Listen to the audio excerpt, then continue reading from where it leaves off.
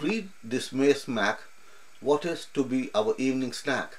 It won't be something I like, I suppose. Everyone without the slightest hint of a doubt knows. I never get what I want. This is not a taunt. Allow me to say words a few. This is quite true. My vexation I'll try to hide. Flaked rice and peas fried I'll make for our sake. I speak in my own way. Whatever you may say, I do make what you want. There is no need for a taunt. Allow me to say words a few. Could you fry some peanuts too? Enthusiasm for an evening snack I seldom lack. Ready-made food is an option of course, as everyone without the slightest hint of a doubt knows. But it cannot compete. I speak in a manner sweet. With mummy's food, I speak in a manner not crude. In my eyes there is no glint. This is not a subtle hint. For mom, I speak in a manner warm. To cook homemade things, her praises one sings.